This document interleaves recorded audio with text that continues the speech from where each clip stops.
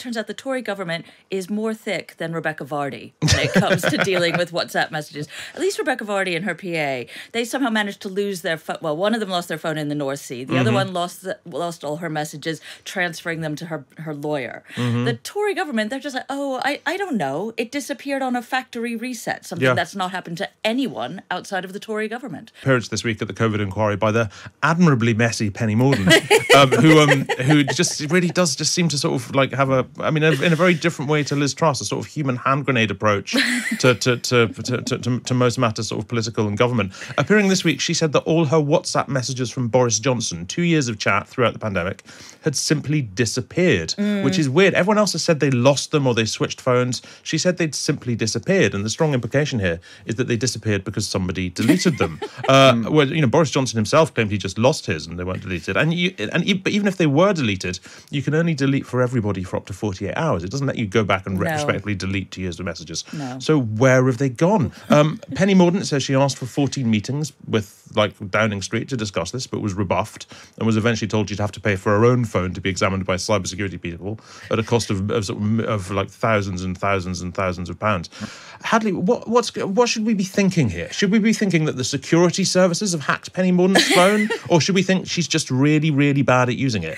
Um, what I think is that what's coming out of this for me is that it turns out the Tory government is more thick than Rebekah Vardy when it comes to dealing with WhatsApp messages. At least Rebekah Vardy and her PA, they somehow managed to lose their phone. Well, one of them lost their phone in the North Sea. The other one lost the, lost all her messages, transferring them to her her lawyer. The Tory government, they're just like, oh, I, I don't know. It disappeared on a factory reset, something Yeah. that's not happened to anyone outside of the Tory government.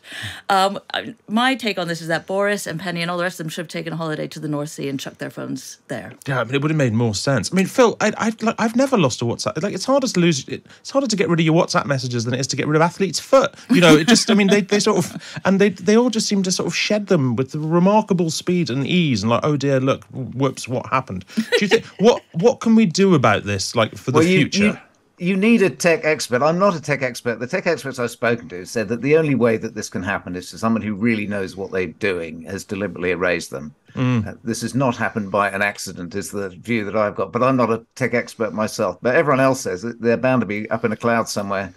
And it's a nonsense. And as I say, it's slightly amusing that the messages that appear to be lost are now appearing sequentially when they appear to favour Yes. the government's case. So I think they will suddenly come. I, what I'm interested to see is what the.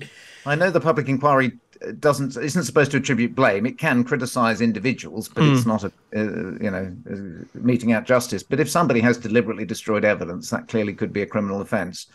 Uh, so at the end of this, in 14 years' time, when the inquiry finally reports, um, we might get a legal view. But I Yeah. think somebody has deliberately destroyed evidence. Is my guess. I mean, the, the the messages that have come back, we should say, they're, they're Lord Bethell's messages, Yeah, and yeah. he and he um he his messages were departed because of I think he has at various points explained that he both he lost his phone, broke his phone, and gave his old phone to a child, which is um I mean he may have done all maybe he just gets through a lot of phones, but, But very cleverly, he he screenshotted all the messages from Lady Mone, um, we see- Baroness Mone, or whatever. That, he, he kept the ones that were useful to him on, on a different thing, or, or on his text messages rather than his WhatsApps. All Th- very confusing. This was an iMessage rather than a WhatsApp. Ah, Apparently, he'd never claimed to have lost his iMessages. And it's very cruel of anybody to suggest otherwise in a column. Who in the uses Times, like I did iMessages? today?